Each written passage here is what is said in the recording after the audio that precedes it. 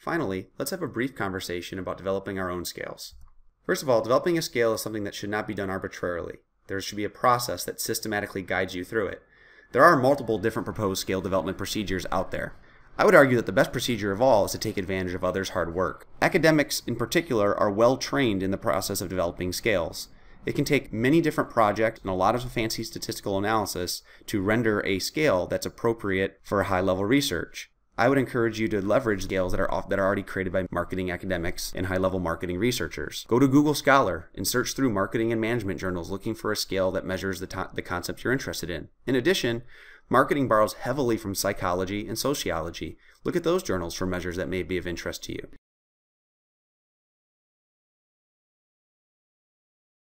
Let's illustrate the use of using Google Scholar to find validated marketing scales by way of a simple example. Let's imagine that you, as a marketer, have been reading up on a concept called brand love. Perhaps you've realized that going beyond customer satisfaction and actually developing a deep, profound emotional connection with your brand and your customers is essential to succeed in the marketplace. After researching and reading a little bit about this topic, it occurs to you that it's going to be very important for your company to actually track the level of brand love experienced by your customers over time. In other words, if you're trying to nurture brand love, you have to track it to confirm whether or not you're succeeding in growing it. Well, that means you're going to need a validated scale to continuously measure brand love across time. Rather than just making up your own scale, let's turn to academic research and see if we can find something. So I simply navigate to Google Scholar, and once you know the name of the concept, just type it in. Brand love is the concept, and Scale is usually the word that we use, sometimes the word measurement, and see what we find. And sometimes when you're new at reading the titles of academic articles, it can be a little tricky. But here we have one at the very top brand love, development, and validation of a practical scale. That seems to be a very good start. We see that it's published in 2017, relatively current, although many well validated scales were published much earlier. We also see that it's already been cited by 101 individuals, a imperfect but still good indicator that it's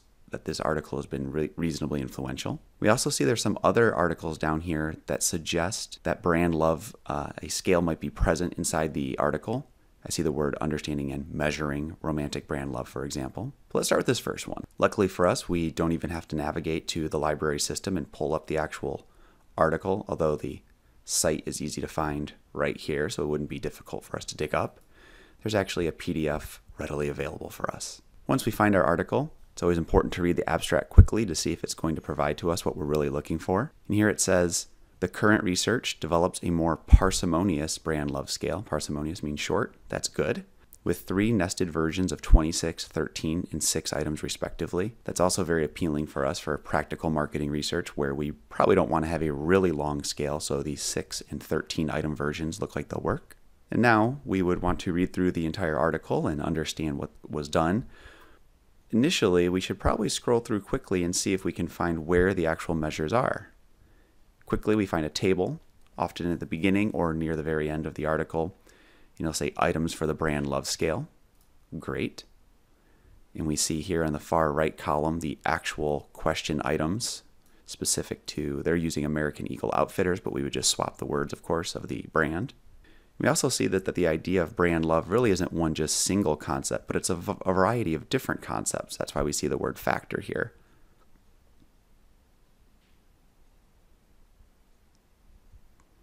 So each one of these bullet points represents one of the 26 items. We don't actually want to use the 26 item version that's a little lengthy, even if it's a little more accurate. Um, we would want to find the shorter version. And I realized there was a useful footnote at the bottom of the table where the footnote A says item was reduced for the 13 item scale and item B, and footnote B was item reduced for the 6 item scale. So now I realize there were questions like this, uh, questionnaire items listed with A and B. So I would simply say if I want to use the 6 item scale, I would select all of the ones that had the uh, footnote B here, and those would comprise my 6 items. And that's all it takes to dig up a useful scale that we can use for our own internal research. Now, admittedly, learning how to chew through and understand academic scale validation articles isn't the easiest thing. It takes a bit of practice. And if you're doing this on your own for the first time, it might take a lot longer than quickly scrolling through an article and assessing its validity. And often you have to look through multiple articles to assess which scale or scales are most appropriate for your purpose. Still, this outlines the basic process And it's definitely still quicker and saves a lot more money than trying to come up with a validated scale on your own. People are in such heavy need of marketing scales that we also have numerous handbooks out there that readily list hundreds upon hundreds of different scales that you could use for your own research purposes. Here are just a few of the scale handbooks that you might find useful to yourself. I own a few of these, and the library at SDSU also has several of these books on reserve.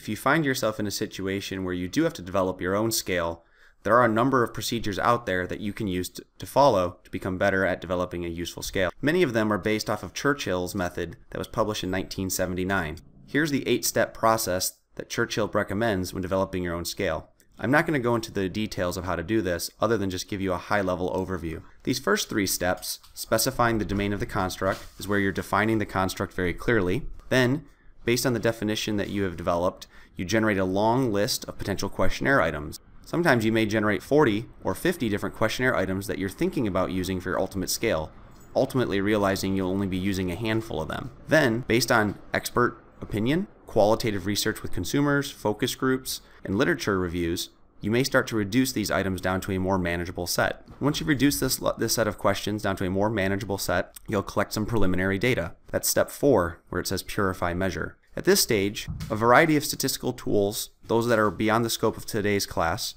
can be utilized to help you identify which measurement items contain promise and which of those are unlikely to be useful for your final scale. Exploratory factor analysis, or EFA, is likely the most common procedure used during this stage. Once you've reduced your number of scale items even further, you'll collect another larger set of data to work towards the final set of questionnaire items for your scale. At this stage, you'll engage in steps 6 and 7, which is assess the reliability of your instrument and assess the validity of your instrument. And again, there's a variety of different statistical procedures that help you assess how reliable your tool is and how valid your tool is. Now, it's likely at any one of these stages, you're going to run into some problems that indicates you've made missteps earlier in your process of developing your scale. That's what these red lines indicate here. Feedback loops, sending you back to earlier parts of the scale development process so that you can continue on with hopefully a better understanding of how to develop a proper scale. If you get through this entire process, the very last step is what you conclude with, developing scoring rules and norms.